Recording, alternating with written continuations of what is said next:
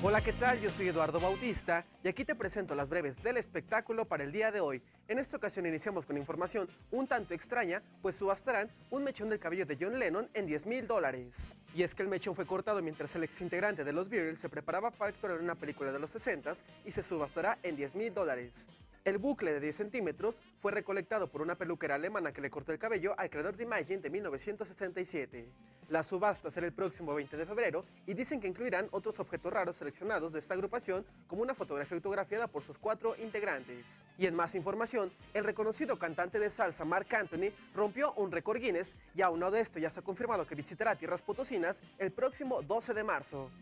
La organización del libro de récord Guinness le entregó reconocimiento a Mark Anthony por ser el salsero solista con más discos de música tropical vendidos. Mark Anthony logró la hazaña por ser el salsero que alcanzó más veces el tope de las listas de popularidad a final del año con tres álbumes vendidos en 2000, 2002 y 2013. Además se confirma que como parte de su gira del año 2016 visitará nuestro país y en particular nuestro estado el próximo 12 de marzo.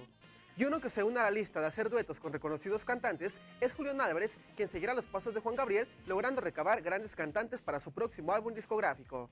Aunque aún no se han dado a conocer más detalles de los temas y los intérpretes que colaborarán en este trabajo, fuentes cercanas al artista aseguran que será un álbum para coleccionar y saldrá a la venta dentro de algunos meses. Así como Juan Gabriel ha lanzado dos volúmenes de los dúos, ya prepara el tercero, Julián Álvarez, grabará disco de duetos acompañado de tres famosos cantantes de los que no ha querido revelar su nombre.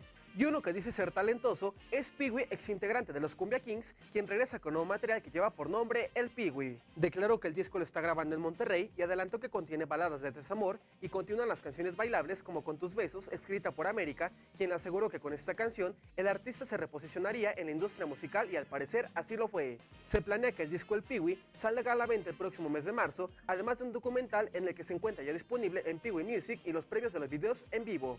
Y finalmente, en información local, con gran éxito la noche de ayer se presentó el reconocido cantante Alejandro Sanz, deleitando a su público potosino. Con un lleno total, Alejandro Sanz triunfó como los grandes en la capital potosina en un conocido recinto con su gira Sirop 2016. La gira ha sido un éxito rotundo conquistando a más de 200.000 espectadores en 25 conciertos completamente vendidos, tan solo en España que arrancaron el 30 de julio en la ciudad de Córdoba y culminarán en Sevilla. Alejandro Sanz llegó hasta San Luis Potosí con un staff compuesto por más de 70 personas a las que se unieron 200 más en cada una de las ciudades por las que pasará la gira y con esto da por concluida su gira 2016 en la capital potosina.